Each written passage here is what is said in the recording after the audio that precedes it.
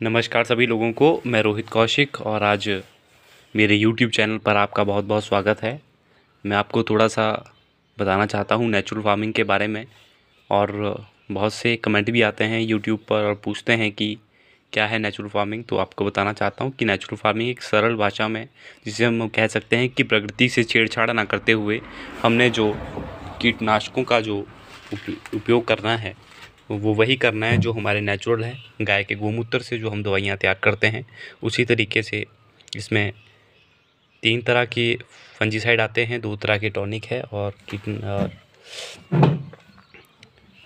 दो तीन तरह के ही कीटनाशक हैं। मैं आपको बताना चाहता हूँ कि नेचुरल कृषि, जो प्राकृतिक कृषि है, इसके जो जन्मदाता है, वो श्री सुभाष पालेकर जी है।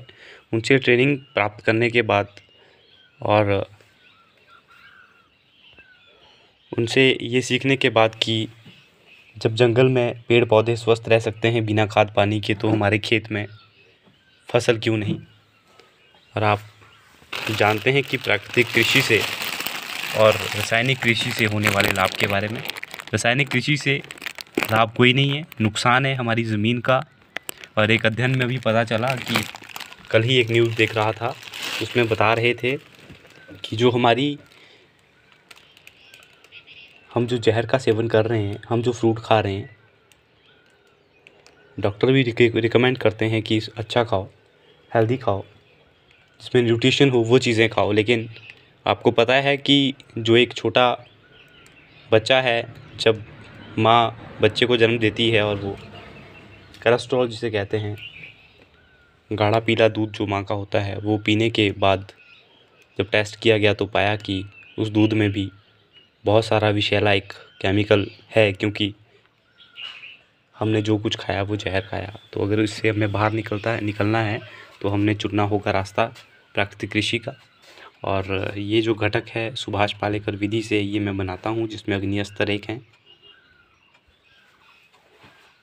माइक्रोन्यूट्रिएंट सावधान एक है जो कि अनाज से तैयार किया जाता है। नीमास्त्र तीन है जो कि नीम से तैयार किया जाता है। गोमूत्र में पका करके, उबाल करके।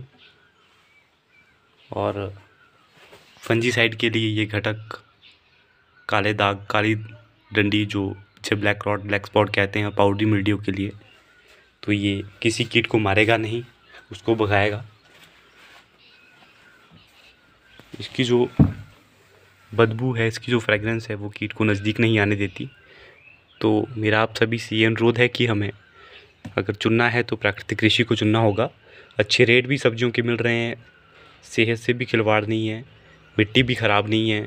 हर चीज़ जब हमें मिल रही है तो हमें क्यों ना करें? हम ये सारी चीज़ें खुद भी बना सकते हैं।